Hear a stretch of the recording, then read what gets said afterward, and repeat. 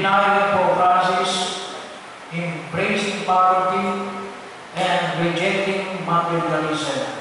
Nung siya'y dumalaw noong January, itong nakalipas, ay na, ito pong nakalipas na January, itong taon na ito, 2010. So yan po, ano? So, pakipasa ko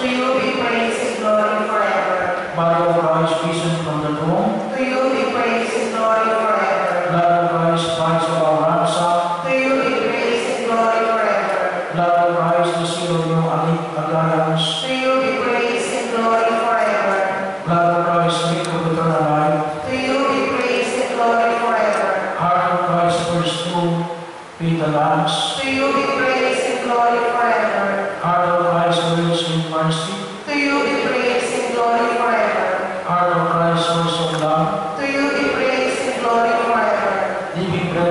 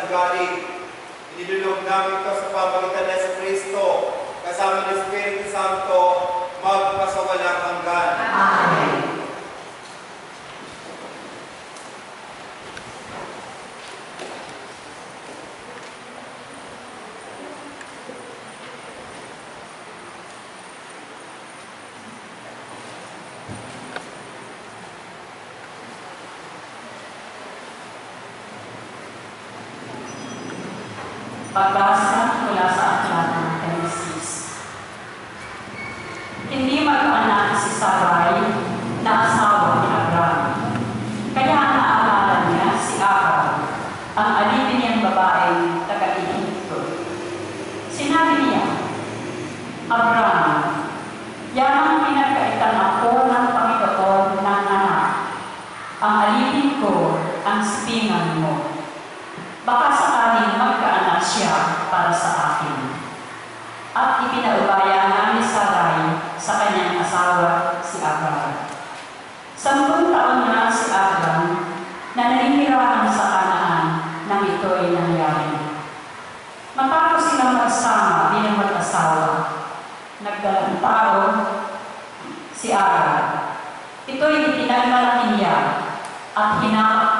si Sarai. Dahil dito, sinabi ni Sarai kay Abram, Ikaw ang dahilan ng paghanak ni Agar sa akin. Alam mo, ako ang nagkaloob sa iyo ng alipin ko ito. Bakit niya ako hinahamak ngayon siya ay nagdadala ng tao? Ang Panginoon na ang humago kung sino sa akin ang matuwid. At sumagot si Abraham, Ibinabalik ko siya sa iyo at gawin mo sa kanya ang gusto mo. Pinagmalapitan ni Sarai si Agar, kaya ito'y tumakas. Sinalubong siya ng anghel ng Panginoon sa tabi ng isang bukal na nasa ilang. Ang bukal na ito ay malapit sa lansanan patungo sa Shur. Tinanong siya, Agar, alipin ni Sarah, saan ka nang galing at saan ka pupunta? Tumakas ko ako sa aking Panginoon, ang sagot niya. Magbalik ka at pailalim sa kanyang kapangyarihan, wika ng anghel, at itinutun pa. Ang mga anak mo ay pararamihin, at sa karamihay di kayang bilangin. Di magluluwa, ikay magsusupling, nga lang tatawag sa kanya'y Ismael. Dinig, dininig ng Panginoon iyong mga daing. Ngunit ang anak ko'y magiging maila, hayop na asno ang makakatulad. Maraming kalaban, kaaway ng lahat, di makikisama sa mga kaanak. Nagsila si Agar ng isang lalaki at ito'y pinangalanan Ismael. Nooy 86 na taon na si Abraham. Ang salita ng Diyos. Salamat sa Diyos. Sa nagpunan, pasalamat tayo sa Diyos, kabutihan niya ay lubos. Pasalamat tayo sa Diyos, kabutihan niya ay lubos. Magpasalamat sa Panginoong Diyos, pagkat siya ay mabuti. Ang kanyang pag-ibig na hindi kukupas ay mananatili. Sino mananahas upang magpahayag na siya ay dakila? Sino ang pupuri at magpapahayag ng kanyang ginawa? Tukol. Pasalamat tayo sa Diyos, kabutihan niya ay lubos. At dapat magalak ang sino ng tao na makatarungan. Nagawang matuwid ang siyang alika sa buo niyang buhay. Tugon. Pasalamat tayo sa Diyos, kabutihan niya ay lubos. Tulungan mo ako kapag ang bayan mo'y iyong nagulita. Sa pagliligtas mo, isama mo sana ang lingkod mong aba upang makita ko ang pag-unlad nila na iyong hinirang kasama ng iyong bansang nagagalak. Ako'y magdiriwang. Tugon. Pasalamat tayo sa Diyos, kabutihan niya ay lubos. Hallelujah.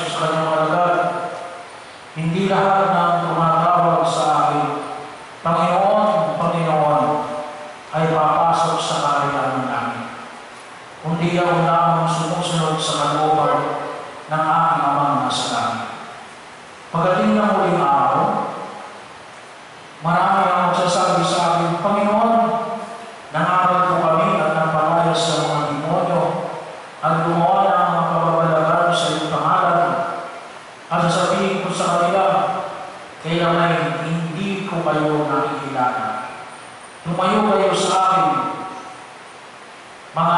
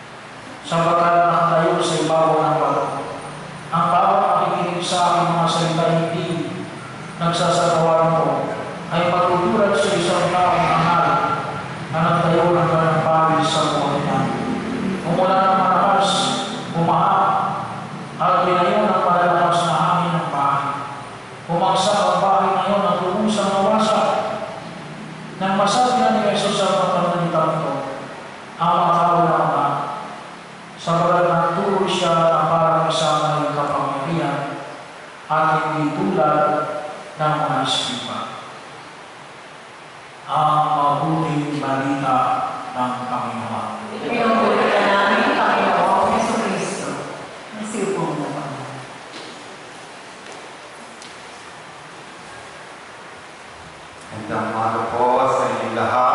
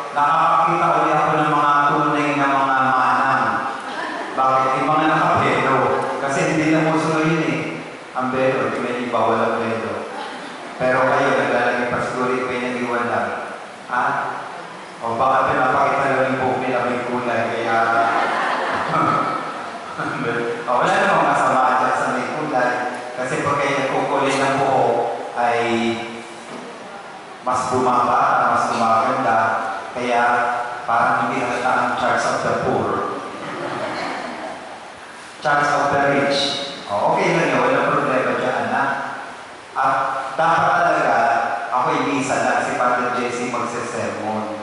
Eh, kaso napansin ko pagkatapos si parang pamista ko siya, pagod na pagod, para naman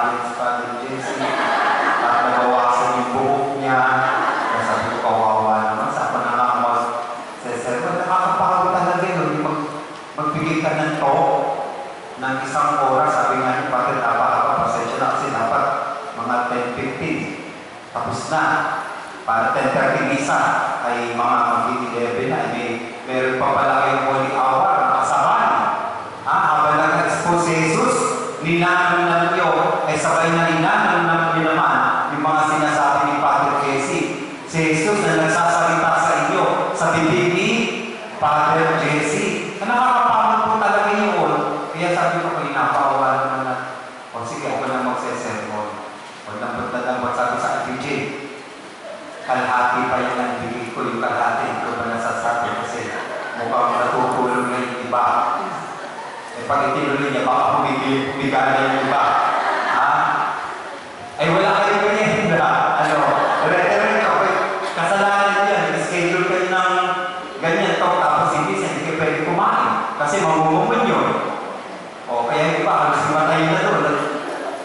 uminom na naman at yung chan sabi pinako niya, bakit baka makunan? Ha? O, siya, pasensya na lang, konting tips na lang, at maikli na naman ang umiliya ko. 45 minutes. Para mamaya mas marami kayo makain. Amen? Amen. Kasi balik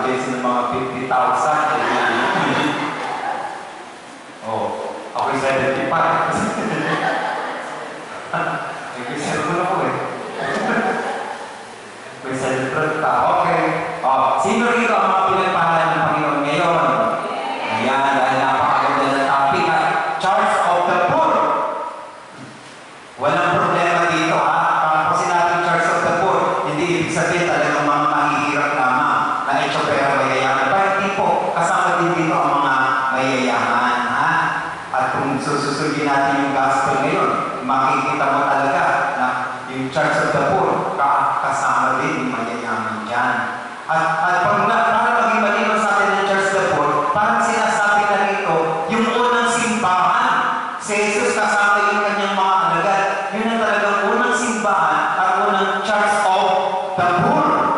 Ayun, hindi na basta sila mahihirap, kundi meron din mga disciples doon na mayayaman. Pero ano ginawa sa kanilang kayamanan? Ay, inilatag sa paanan ng mga apostoles. Hindi para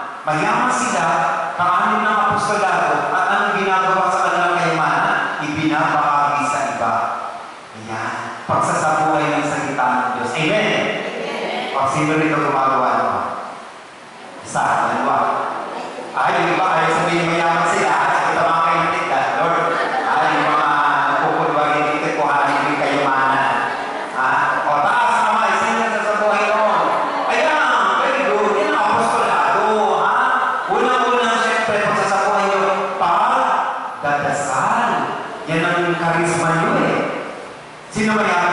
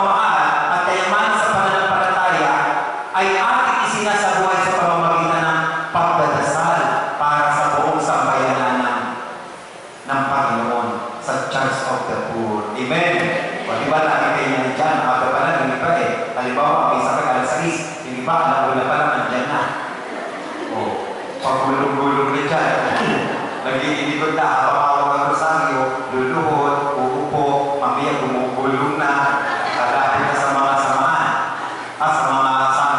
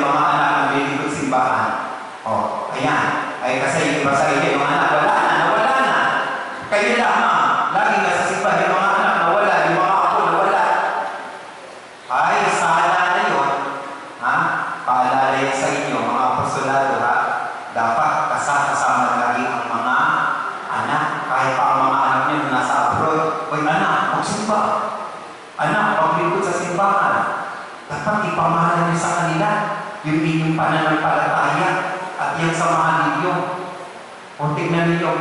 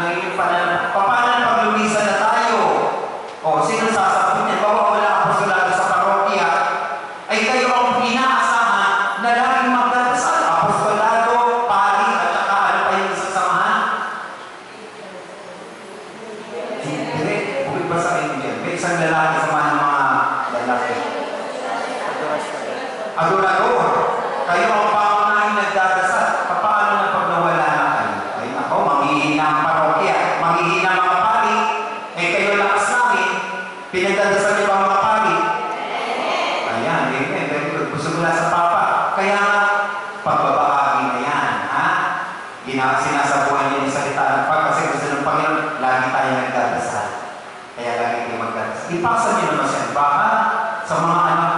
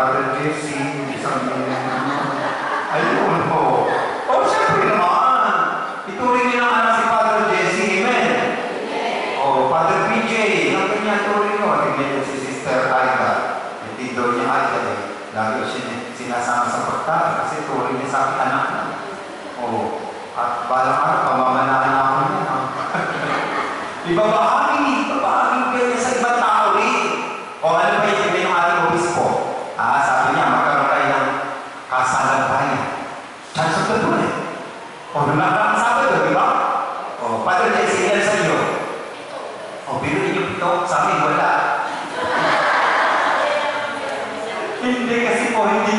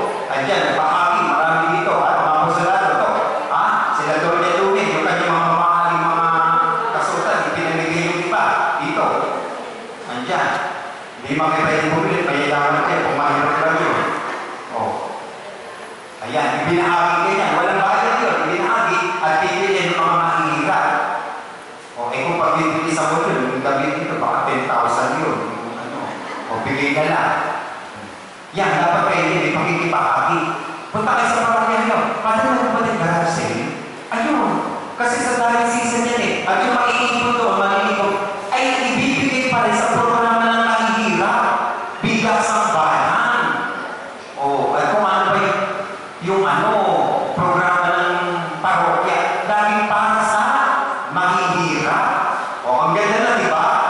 Lagi kayo ang percentage sa mahirap o kaya participation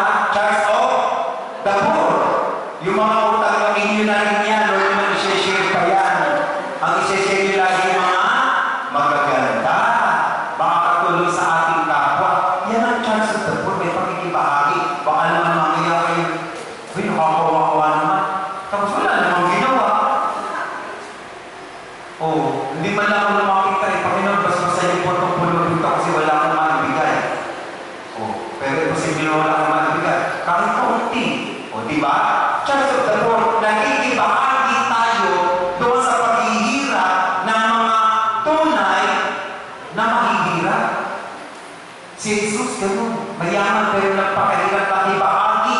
At maraming mayayaman ay nakikibahagi sa paglalakad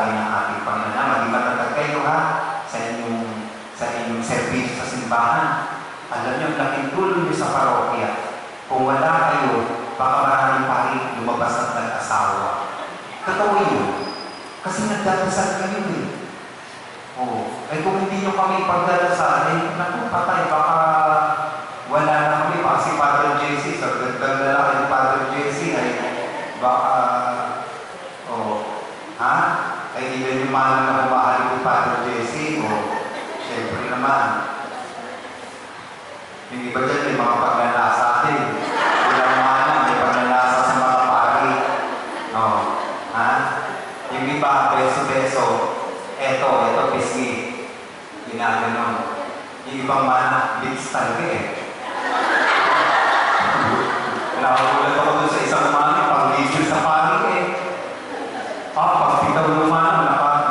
ngiti ng bata. Sobrang pangiti-ngiti. At pwede pang lalaksa na ilay. Hindi naman gano'n na, no ha? Dapat ang kiss ko ay hali, kapatid, o hali, ina, sa isang